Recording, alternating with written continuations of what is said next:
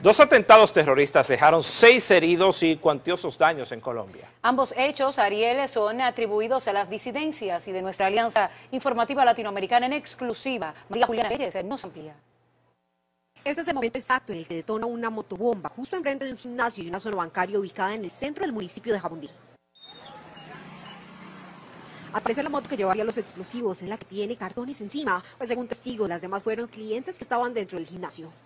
Se ve que llegó tipo a las seis y diez más o menos, deja la moto y el señor que cuida las motos sospechó un poco, pero vio que se fue y no, no cayó en cuenta. Afortunadamente dentro del gimnasio ninguna persona fue afectada.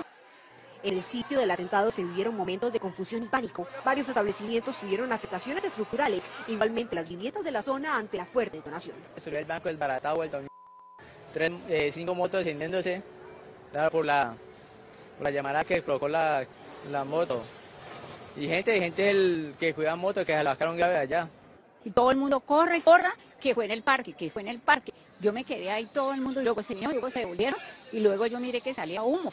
Según las autoridades, seis personas resultaron heridas. Tres de ellas permanecen en una clínica de alta complejidad en el sur de Cali y las demás en centros asistenciales del municipio de Jamundí. La alcaldía le hizo un fuerte llamado al gobierno nacional ante los hechos. Hemos solicitado desde hace tiempo, por medio de edificios y de manera presencial, que Jamundí sea un municipio SOMAC. ¿Qué significa SOMAC?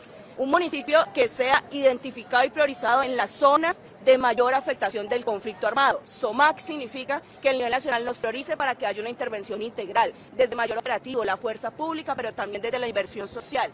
En Potrerito, zona rural del municipio de Jamundí, también se reportaron hostigamientos en horas de la mañana contra la subestación de la policía. Varias ráfagas de fusil fueron detonadas e interrumpieron la tranquilidad de la población.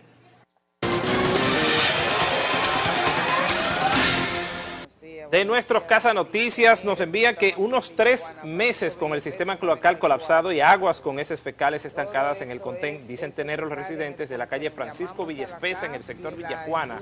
El Distrito Nacional, según los comunitarios, han reportado la situación a la CAS, pero solo les han puesto excusas. Exigen saneamiento de la zona casi incomunicados debido a varios socavones en la carretera que comunica el Distrito Municipal Sabana Grande del municipio Eugenio María de Hostos con los cochones de la provincia Duarte, exigen al Ministerio de Obras Públicas una urgente intervención. Usted puede denunciar eh, todas las problemáticas de su sector a ese número que aparece en pantalla, nuestro número de WhatsApp, 829-470-8828 o puede escribirnos al correo electrónico denuncias arroba noticias. Y precisamente tras un reporte de noticias SIN sobre las denuncias de residentes del sector Manganagua y Santa Lucía, que decían que debido a la poca iluminación en sus calles se registraban asaltos y robos, pues brigadas de Edesur acudieron al lugar esta mañana a instalar bombillas. Los comunitarios esperan que esto les garantice seguridad en sus hogares y afirman que los frecuentes robos empezaron a registrarse desde hace seis meses en la zona, en lo, que los mantenía o los mantiene todavía muy preocupados. Bueno, yo me imagino que con la, iluminación eso lo previene a ellos de que hay cámaras, quizás porque no vieron la cámara. Hemos venido trabajando con el Sur desde noviembre en esos temas, todavía nos falta mucho por, un poco, mucho por hacer, pero estamos trabajando en ese sentido.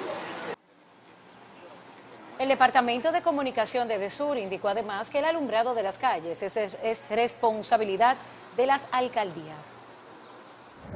Con la finalidad de ofrecer asesoramiento y representación legal a los más de 15 mil usuarios de paneles solares en los casos de disputas y desafíos regulatorios, fue anunciada la creación de la Asociación de Usuarios de Paneles Solares de República Dominicana. Es que durante el lanzamiento de Adupaz en un hotel de la capital, el presidente de la asociación dijo que su objetivo es asegurar un acceso equitativo a la energía renovable y sostenible.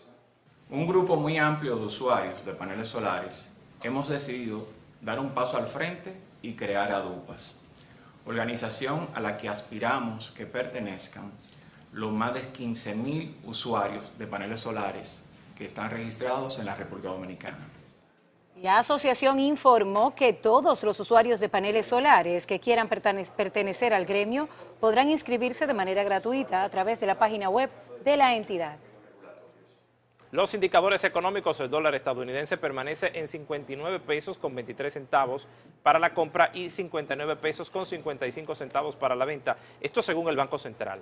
El euro continúa en 61 pesos con 50 centavos para la compra y 66 pesos para la venta según el Banco de Reservas. El Bitcoin incrementó a 68.078 dólares con 55 centavos. Asimismo, el Ethereum y se registra en 3.553 dólares con 62 centavos, va subiendo. El petróleo intermedio de Texas cerró al alza y está a 78 dólares con 33 centavos el barril.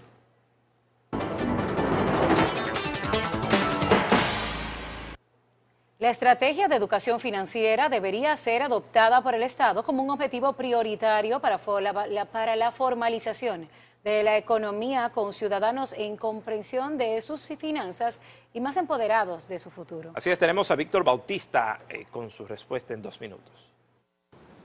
Hola, ¿qué tal? Saludos. En el ámbito financiero, ser formal tiene numerosas bondades, entre ellas mantener una buena relación con el banco y ser sujeto de crédito. Aunque los bancos no son perfectos, representan la mejor opción para administrar nuestro dinero de manera segura y eficiente.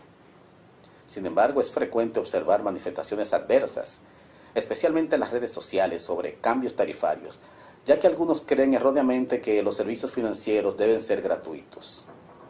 Detrás del resguardo y rendimiento de nuestro dinero hay una infraestructura robusta. Los bancos dominicanos son pioneros en tecnología avanzada y cuentan con personal profesional y técnico altamente capacitado.